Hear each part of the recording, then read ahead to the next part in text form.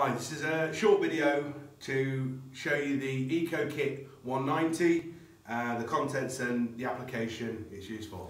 Oh, okay, you get 25 clip sets, you get a tightener, a punch and a set of bolt breakers.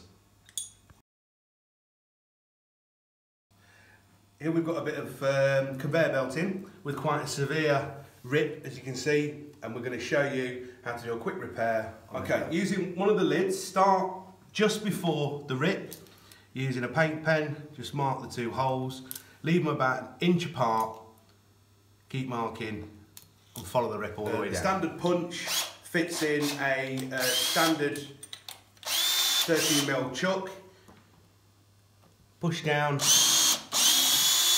and drill through. Once you've pre-drilled the holes, put the clip through the back of the belt, the top on, and replace the two nuts. A wrench that comes in the kit, put that back into your drill, set it on a high torque screw down,